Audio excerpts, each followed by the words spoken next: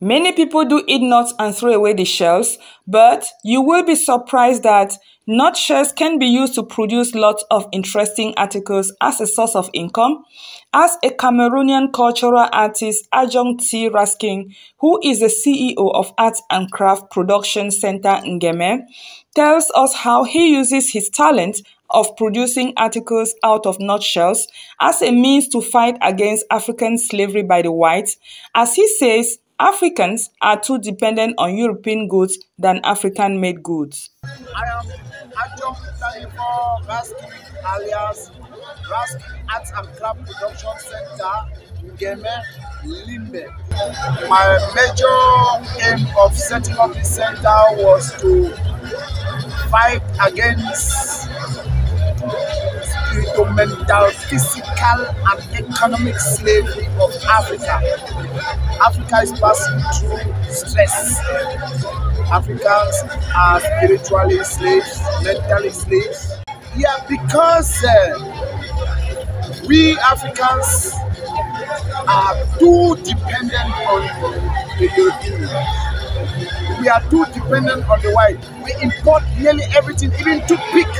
But it is wrong we are supposed to encourage our children in creativity and productivity such that such minor things like pin like needle and toothpick should not be imported from china or from europe. So we should encourage our children on production. That's why i decided to portray the richness of africa in nuts. He now tells us how palm nuts coconut tropical nuts and even Njangsang can be used to make jewelry that are so beautiful. What we have in front of me? We have uh, palm nuts. These palm nuts are precious nuts, tropical nuts that I have seen the richness in it and I've decided to start using it for the production of jewelry like this. We also have precious hard nuts like Jansang seeds. This is Jansang. It's a necklace made from Jansang. Like you wow, see. that's the quite middle beautiful. is a palm nut and the Jansang seeds all around. You can see, for me to want to project our Cameroonian image because the whites they love it too much, a sign on it. May, it has it can stay for the next 500 years to remain like this because the shells are very hard. Even to make a hole on it is not easy, it's just like a stone. Yes, here we have uh, coconut shells, well polished and sand with engraved engravement on it. These engravements are done with marble dust, white marble dust.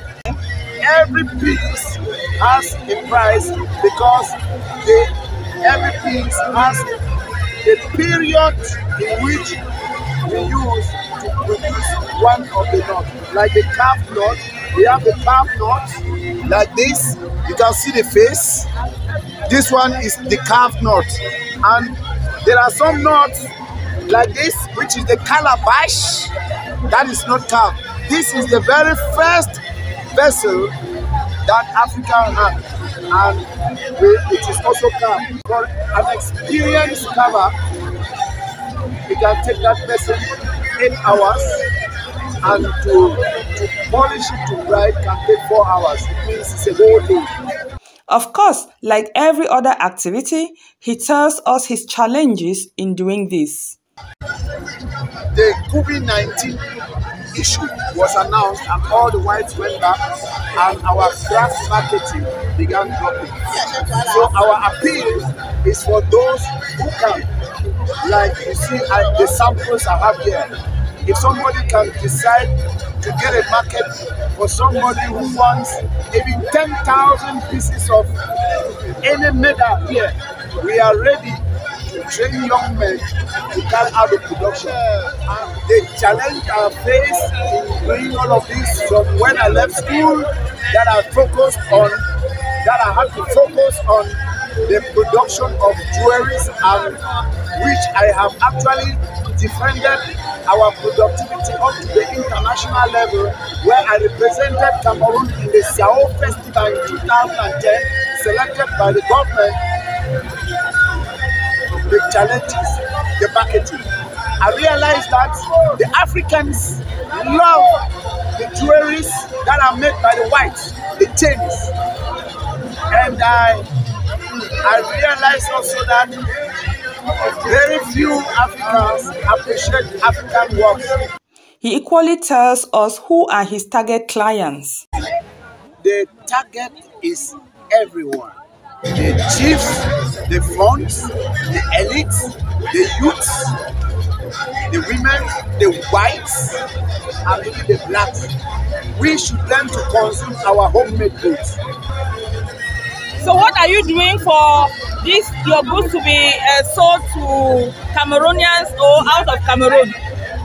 Well, uh, I always go on competitions like the Siao Festival where I became uh, second best jeweler in Africa, in Central Africa in 2010 and best jewelry in 2012.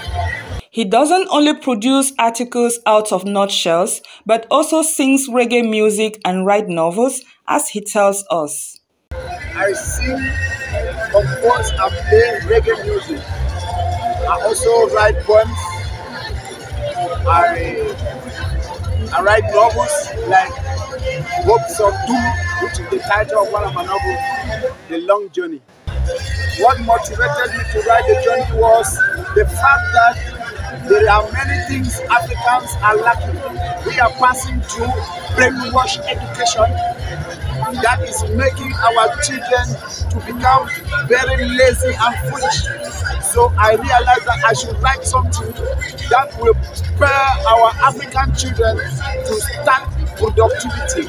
It's not a miracle for Africans to produce engines and to build planes, but it looks like magic for an African to produce a plane. I don't see the magic. So I, I am I want to encourage Africans to start encouraging the children in creativity and productivity. We had the opportunity to listen to one of his songs that he titles Sing Song.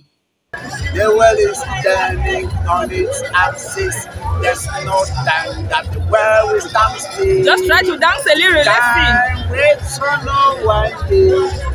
No one waits for time. Also, he tells us how much it costs to hire him. Uh, sometimes they give me 50,000, sometimes they give me 70,000, sometimes 100, sometimes even 25,000. So it depends on the occasion. Okay. And it depends on how long you're going to stay there. Yeah, how many songs I'm going to sing. Okay, thank you. Like every other musician, he tells us his main challenge in music is sponsorship. My challenge is actually is sponsorship. I have focused all my mentality on creativity, research. So I've not had time to work money. So I right now I don't have money, but I have experience and I have a lot of creativity. He equally tells us how he gets his inspiration as a singer. Sometimes when you are in the farm, maybe cultivating crops, and a kind of thinking comes into your head, and you kind of overthink about a particular subject, you decide to put it into a melody, and that's how the music comes. Sometimes some of the music just comes. Finally, he tells us how it could be a lot easier for him if he has a sponsor, as he says anyone who spends time in the creative world will definitely have little time to get money. Anyone who spends time in the creative world has little time to get money. And as such, if there is a sponsor who sees his talent and discover the talent is good and can be can be economically rich and generate income, they will put in money and this will get to the market and people will buy it and it will generate some money. We wish that many more Cameroonians will get inspired through his experience so that we can have many more Cameroon made goods rather than always importing from other countries. This is GASA Media. For this documentary, I have been Gillette Atemken.